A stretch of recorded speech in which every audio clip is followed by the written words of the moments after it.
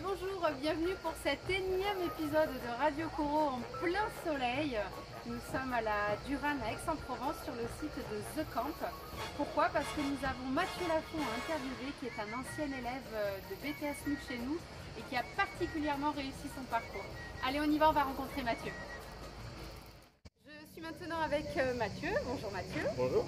Alors Mathieu, qui êtes-vous? On veut tout savoir. Alors Mathieu, 28 ans, donc euh, je travaille à The Camp et je suis issu donc d'un BTS MUC à Coro. D'accord, ok. Donc ancien apprenti chez nous.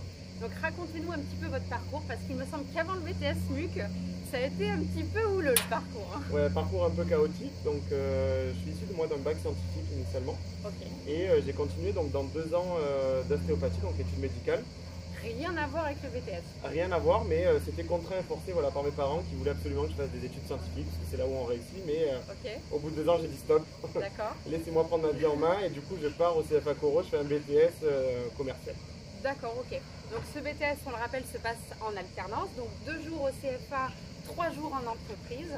Donc ça se passait bien en entreprise pour vous? Exactement, ça m'a permis en fait de découvrir le monde du travail assez jeune et euh, le fait que Coro puisse m'offrir cette alternance m'a permis bah, en fait, de développer mes compétences on va dire hein, Ouais. et euh, de développer mes compétences professionnelles au sein d'une entreprise. D'accord.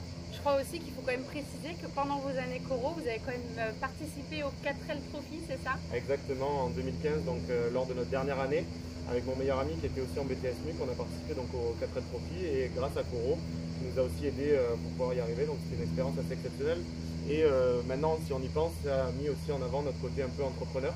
Euh, pour créer bah, cette association pour développer et rechercher des fonds donc euh, merci le CFA aussi de nous avoir aidés. D'accord, oui, donc j'imagine que ça s'inscrit aussi un peu dans la démarche du BTS finalement avec euh, voilà, ressources financières, ressources matérielles, donc ça s'inscrit totalement dans la formation. totalement dans le BTS MUC. Bon, on va dire qu'au CFA, ils avaient un peu peur pour notre côté études parce qu'ils veulent qu'on réussisse, Oui. forcément, et ça prend pas mal de temps, mais c'est vrai qu'on y est arrivé. Et, mon meilleur ami et moi avons obtenu notre BTS avec de très bonnes notes, donc c'était très, très important pour nous de jongler sur les deux terrains. Bon, très bien. Donc aujourd'hui, vous travaillez dans ce magnifique site qui est The Camp, donc à Aix-en-Provence au niveau de la Durane. Donc que se passe-t-il à The Camp? Alors, The Camp, c'est un projet assez fou euh, et assez euh, avant-gardiste qui a été créé par Frédéric Chevalier. Qui était un grand entrepreneur qui a fait fortune donc, euh, grâce à la société Aiko.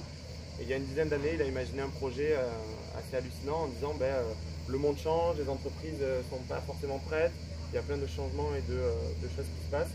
Comment on va pouvoir aider les entreprises Donc créons un tiers-lieu en Provence parce qu'on est fiers de notre territoire et euh, créons du coup The Camp qui rassemble en fait plein de choses différentes pour accompagner les entreprises, donc un accélérateur de start-up, euh, on travaille aussi avec le monde associatif, donc on a des associations sur le campus, plein de choses différentes pour accompagner les entreprises. Ok, super. Et donc vous, ici, quel est votre, quel est votre rôle? Alors, mon rôle, c'est responsable commercial de The Camp. Donc, c'est en fait voilà, développer des nouveaux partenariats, développer, euh, faire venir des nouvelles entreprises pour les accompagner sur du euh, court ou long terme en fonction de leurs besoins. Et du coup, bah, voilà, c'est développer cette offre que Camp peut euh, présenter aux entreprises. Donc finalement, c'est un peu dépendant de vous, on va dire la pérennité de ce projet, parce que si vous ne trouvez pas de partenaire, ça va être compliqué. C'est ça, voilà, on a, on a 18 partenaires fondateurs qui avaient rejoint l'aventure avec Frédéric Chevalier. Donc, euh, le but, c'est d'en trouver des nouveaux et de créer voilà, vraiment une communauté euh, d'entreprises qui va être euh, embarquée dans ce projet assez fou. Donc euh, je dis pas que c'est moi, mais on est une équipe commerciale qui va vouloir développer ça. Donc euh, c'est assez important. Bon, mais super. Merci beaucoup, Mathieu, pour cette interview. On vous souhaite plein de belles choses pour la suite. Merci surtout d'avoir répondu à nos questions. Et puis, on transmettra le bonjour à tous vos anciens formateurs à Coro. Avec grand plaisir. Merci, Mathieu. Radio Coro. À vous, les studios.